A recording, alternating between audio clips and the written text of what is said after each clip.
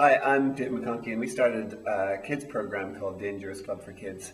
Um, and the idea was just to have something a little bit different from maybe sports-based programs, uh, from maybe uniformed organisations like GB, BB, and Scouts. Um, the idea is that we get together, it's a chance uh, for kids, they come along with their parents, um, and just to build a relationship with those kids, but also with the parents and the whole family, uh, so that we come together once a month.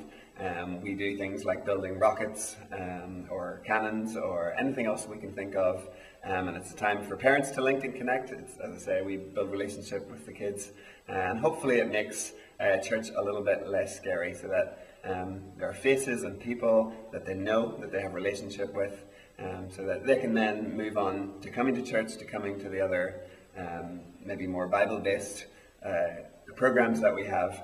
Uh, so really, it's it's the door in. It's the first step that they can come to, get to know people, and move on from there uh, to hear about the gospel, uh, to hear about why we do what we do, um, and hopefully come to a saving faith in Christ.